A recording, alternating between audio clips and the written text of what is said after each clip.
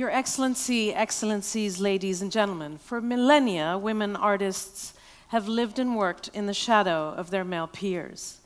They long went unrecognized and unsung. Only in the past couple of centuries have female artists been identified and allowed to have careers of their own. As a result, the particularities of their gender and the inequalities that come with it have consistently featured in their art. If you consider the works of Louise Bourgeois, Niki de Saint-Phalle, or much more recently of Tracey Emin, they have all gone about illustrating one central theme it's not easy being a woman. What about women in the Muslim world? How have they been portrayed over the ages, and how do they portray themselves? That's the topic of our conversation this morning, and uh, with me are two women who are uniquely and very differently qualified to speak about it. Um, my first guest on the podium is Lalla Essaydi. Lala grew up in a prosperous, prosperous household in Morocco. Her father had four wives, and she had 11 siblings. When she began studying and practicing art, she discovered Orientalist paintings by such masters as Ingres and Delacroix, in which steamy harems were shown full of reclining and sensual concubines. Of course, neither Ingres nor Delacroix had ever been inside these harems because they were strictly forbidden to them or uh, any other um, male for, uh, except for the, the, the, man in charge. And these paintings, so therefore, were, were pure objects of their imagination and their fantasy. Yet they were paintings that have had a lasting impact on West's image of Eastern women and of the East in general. And Lalla Essaydi has taken it upon herself to show women as they are in her part of the world. The photographs that you see and the Arabic writing that features on the women's clothing, on the walls, on the faces, on the hands, and in every uh, part of that photograph have been applied by Lalla herself. So this is not photo montage.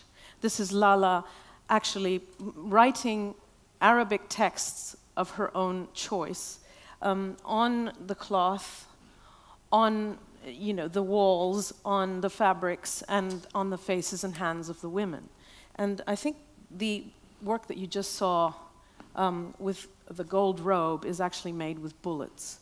So there's all kinds of um, symbolism and, and, and all kinds of things going on with, with Lalla's art. But so I just wanted to begin, Lalla, by asking you why is it important for you to represent women in your work? I mean, you could have gone on and been a landscape artist or, or well, first of all, I would like to say that my relationship to this uh, Orientalist uh, practice is a very complicated one. I am able to appreciate the beauty that these artists were able to, uh, to portray in their art when they visited some of the Arab countries. And at the same time, I really cringe at their representation uh, of mm the way of life in the Eastern world and the degrading um, position uh, of the women in their art. So, um, why, when, is it, why is it degrading? Well, when these uh, Western artists come to to a world that they don't know, and they portray women as sexual victims and Eastern men as depraved, mm-hmm. then the effect is to actually emasculate Eastern men and to challenge the notion of uh, honor and family. So, um, and the, West, the Western viewers are still seeing Arab women as being oppressed and marginalized. Mm -hmm. when in fact um, they participated in not only in the art but in all other areas. They were significant uh, participants in the dramatic change in the Arab world. Mm -hmm. And their art, I think, can help to break down the stereotype and expose people to new perspectives. Um, so, what are you trying to say with the beautiful artworks that we're seeing? You are showing women um, in what were once real Moroccan harems and old Moroccan palaces. Uh, but you're showing them in your way. And, and, and what are you saying with these works that we well, see? Well, uh, first, I would like to, I, I'm trying to break the stereotype, but I am an artist and I have to address, um, I have to work in the same way a little bit. Uh, uh, appropriating the imagery and at least or the style, if you want, of these uh, painters, uh, it, it's a big challenge because they were wonderful masters at their crafts and at their skills, and it was challenging for me to. Um, to address something so complicated and so complex and political and at every every level and I'm seeing, I, I was aware that it was a fantasy all the time. And women I knew from the Arab world knew that too, because we don't see ourselves in these paintings. We are real Arab women, but um, so when I went to the West to study, I was more curious to learn about other cultures than my own. And I understood that in order for me to do that, I have to return to my own roots and try to understand my culture better because I was coming from a different perspective. So uh, I had an experience. I was still at school and I was still finding my way to find my voice. And I had this encounter with somebody who's qualified to, um, she was a curator and art historian. She specializes in um, Orientalism. She, and she, she came to my studio, and there was a, a very large painter, painting because I come from a painting background. And yeah. at that time, my first um, uh, exploration and investigation in this uh, Orientalism was through my paintings. She came to look at my photographs and she found this huge, large painting of Gérôme in my studio, which is my painting deconstructing the original one from Gérôme. And she Gérôme, was Gérôme, Jean-Léon Gérôme, the 19th century French Orientalist painter. And yeah. what happened, she was fascinated by the painting and she wanted to know more about it. And I was explaining, I was excited that someone was interested in what I was doing. And when I finished explaining what I was hoping to do, uh, she turned and she told me that she thought it was real every single thing in those paintings were portraying real life in the Eastern world. In the Eastern world. And mm-hmm. I will always thank her for that because from that moment on, I knew exactly what I needed to do. Interesting. Um, can we now move on to our next speaker, who is Touria El Glaoui? And many of you knew know Touria because she's the founder of the world's very first art fair devoted to the art of North and Sub Saharan Africa. It's called 154 for the 54 nations of Africa, and it takes place at Frieze in New York and London every year. It's coming up soon in New York, so I invite all of you who are in the neighborhood to pay a visit because um, it is really a fair of really quite high caliber, and it's only been around for two, three years. So um, Touria that's what Touria does, and that's what she's known for. But she's also here in another capacity. She is the daughter of Hassan El Glaoui, who is Morocco's most famous painter, living painter, and who is now a gentleman in his 90s. And we see the depictions of Hassan El Glaoui appearing on our screens right now. And he obviously depicted women in his entourage, and his depictions were clearly different from those of the Orientalists, and possibly different also from the ones that Lalla produces. And so um, I wanted to ask Touria, how did he approach female subjects in your view? So first of all, he was not allowed to really do that as a career really early on, but he still was so passionate about it that he had his own studio in his uh, mother's home. And I think that the first model that he was able to reach out to to do this without a proper training were people from his entourage. So it was his mother, his sisters, his wife, his wife later on, and uh, a lot of um, you know the people assisting in the home. Um, and I think that um, besides this very um, uh, I guess, uh, intimate, you know, surrounding of women, um, there was a lot of um, issues around painting or reproducing women in general, or even uh, men, you know, at the time, or even, um, you know, any kind of reproduction, let's say. Um, so he went to France and he studied in the Beaux-Arts and he obviously, you know, mastered his craft. Uh, but, you know, he always says to everyone that if you know only his horses, which he's known for, Yeah. you don't know his, uh, his art and his paintings because he's really proud of his portraits and uh, his nature morte and landscaping. But it seems that in Morocco, when he came back after um, uh, close to 15 years in France, um, this is not what you know his Moroccan audience was, um, you know, willing to appreciate and actually um, encourage him to do because I guess there was a whole mixed up also with the religion and you know what you were supposed to reproduce or not. So um, I think um, living in a Muslim country was also you know, part of the, um, the issue why probably his portrait was not as appreciated as, uh, as, um, as uh, his other, other scenes. But uh, I have to say, women, it's quite dear to him because it's always been women he says he loves because it's always been women around, around him. And um, um, I, I, um, I do think that he portrayed women of his time, I guess, you know, in many ways. He never tried to portray probably, you know, the past or, but uh, it was always, you know, part of his, um, his surrounding and, uh, and the time he was living in. So uh, the early work you see him was like, you know, before any training, before going to Paris in the Beaux-Arts.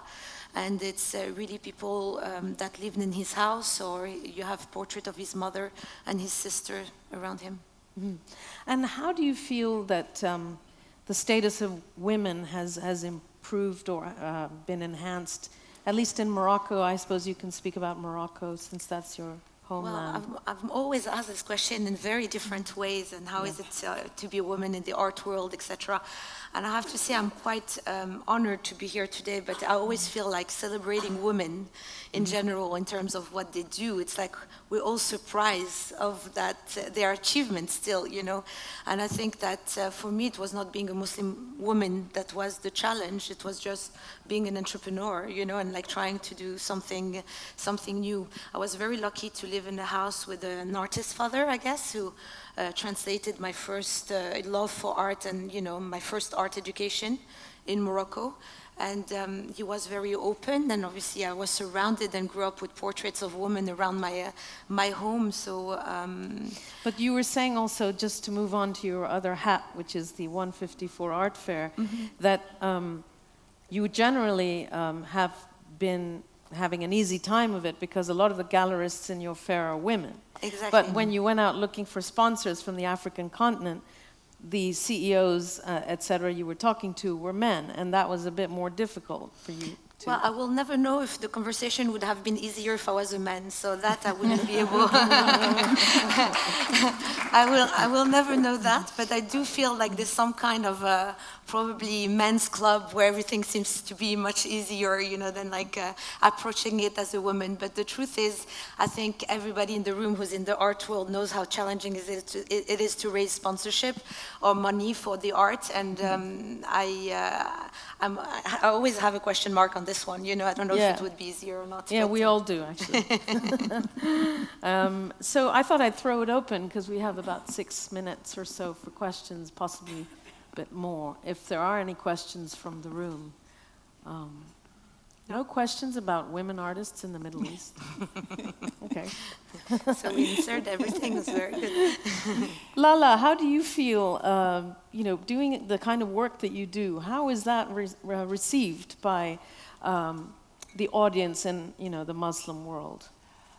I believe at this point it is bien, uh, well received, but at the beginning it was um, it was challenging, I must Really? say, uh, especially in my country. I would say more than Why? it has. Um, first of all, I think my family. I come from a very conservative family, and I had a lot of trouble doing my work. Um, uh, at the beginning, it was always in a very secretive way. We would, I photograph at night. We get together a group of women in one of uh, the old houses that belong to my family, and we all have that. Um, Can uh, we get some of Lalla's images up again? If possible, of her art. Yeah, there Yeah. is one. Just I want to say something about one let's- image that has um, the architecture. It was in a, a harem area in one of the old palaces in Marrakesh, and that palace belonged to Touria's grandfather. That's right. so it was a, it was a very um, uh, interesting way of finding when I, I saw that space. I didn't know she was going to be here with me today, Yes, and yeah. so seeing that it's. Um, so going back to my practice and the way I, I'm, I have been working at the beginning that made it very, very difficult, um, they were seeing, they were almost uh, saying that I was doing pornographic work because I was working with women. So I have to, I have to do it in such a way that they don't, uh, they don't find out. There was a time I remember I was. Um, I was shooting one day and I had to have the authority, the police guarding the old house to protect me from my family because of the work I was doing, because they didn't understand. They were seeing this group of women together and I was taking pictures and they were questioning the fact that I was showing pictures of women in a Western world and uh, in their domestic settings. Um, but I think the interesting thing is when my work started being known in the Middle East, in here, the people they're looking uh, at as Muslim country, like in Saudi Arabia, or well, I didn't have a show in Saudi Arabia, but they are collectors. But in Dubai, I had. Uh, when they saw that and the media started writing about my work, that validated in their eyes. So it's been it's accepted now in I see. Morocco. I had Yeah. uh, many exhibitions. Uh, my work is in the collection of the king himself. People think that it is prestigious, and I it see. is, and I am honored for that. But the most important for me is that the kind of work I do, and it's in the, the collection of the most powerful person in the country who can actually do something to help women. So, um, Mm-hmm. Fantastic. So it is very well received now. I'm very lucky Great. for mom. Yes, please, we have a question. Before, um, before you speak, I have to also open a parenthesis and say that I have a connection to Touria as well, in a funny sort of way, and to her father, because I used to live in Morocco as a child, even though I'm Iranian. And we used to go to the house of a mutual friend of Touria's parents and mine. And this friend had paintings of her father hanging on the wall, including some horse paintings.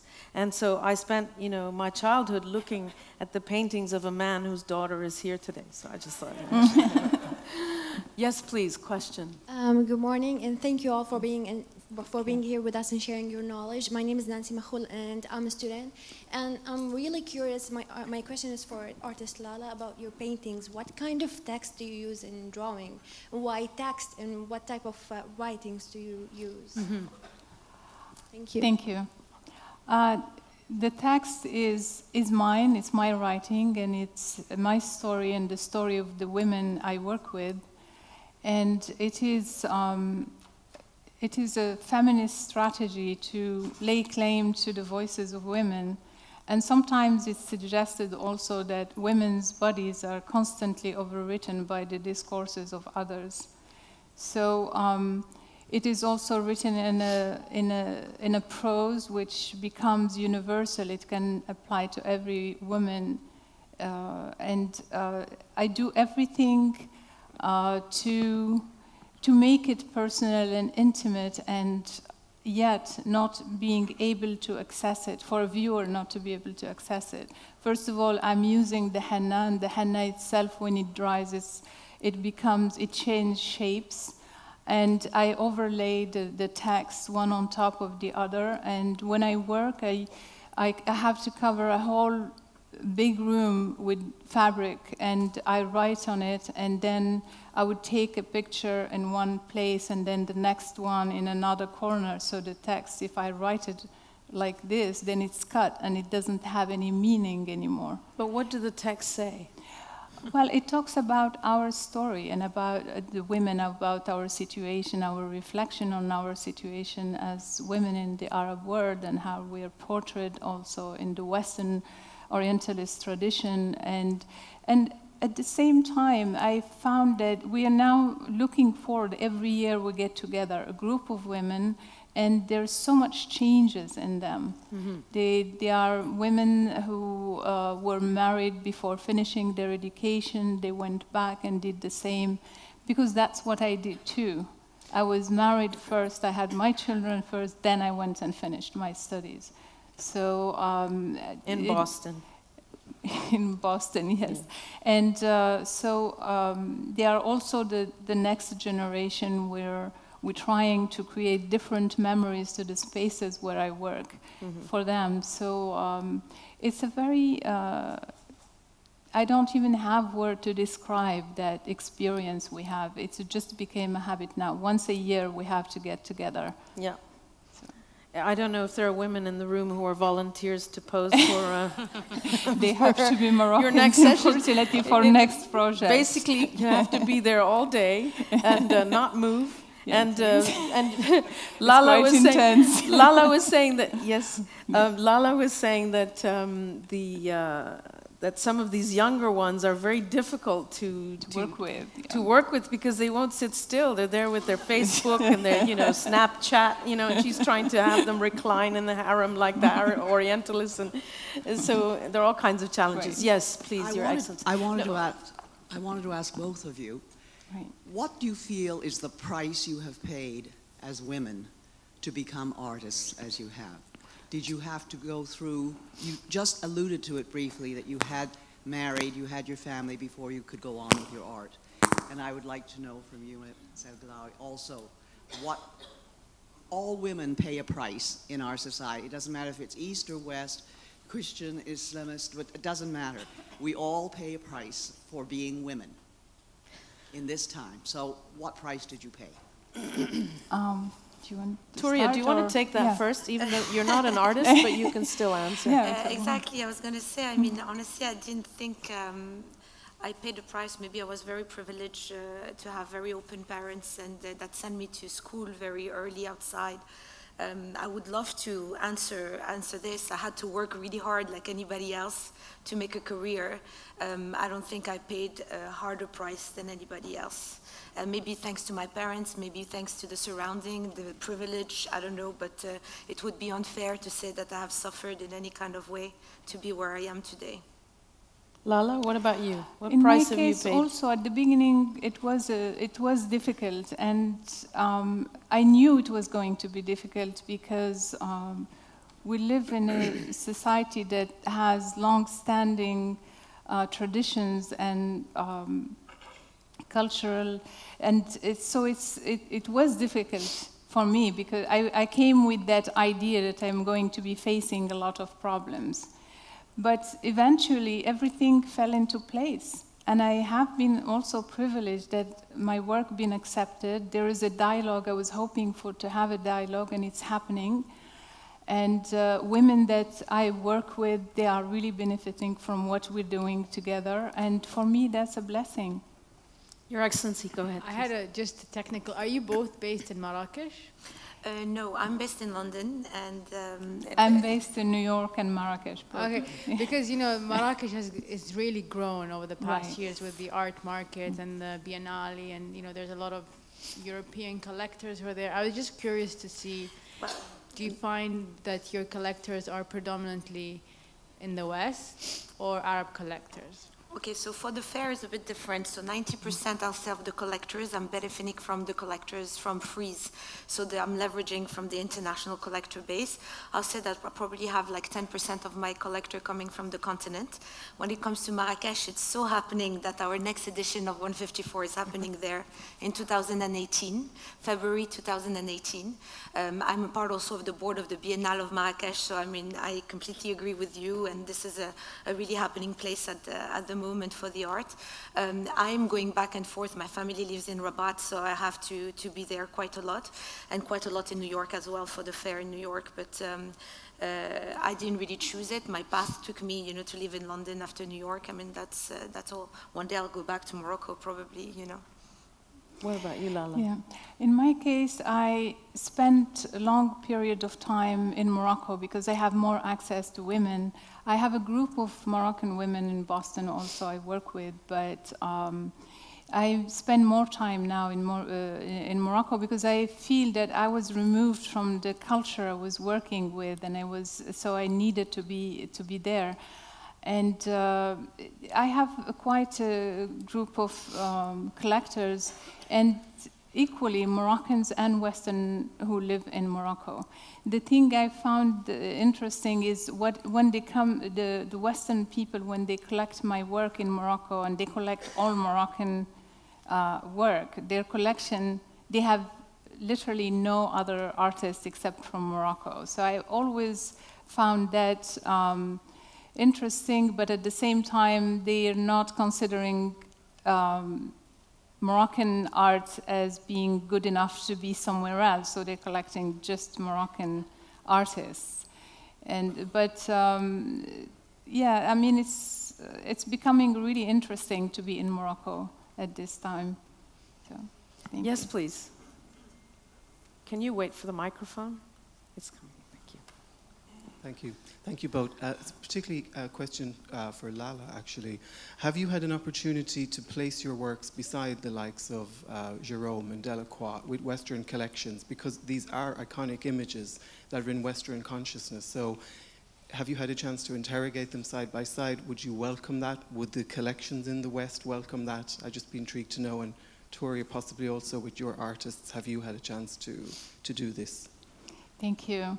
I actually, one of my first museum exhibition was uh, in the Williams uh, Museum, and it is closer to the Clark, where they have the major Orientalist collection. And I had the privilege to um, to have the painting on my own. They were um, getting it ready, and I was invited to have an exhibition with the Orientalist painting at the same time, but it was with painting at that moment. And uh, it was really very interesting for me. It was, um, uh, it was a major thing in my career, I think. It just took me even further.